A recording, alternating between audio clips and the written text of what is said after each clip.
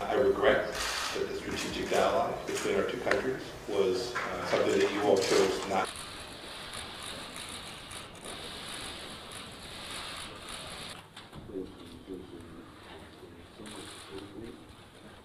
中美作为两个大国，合作才会双赢。双方应该也必须做出正确的决定。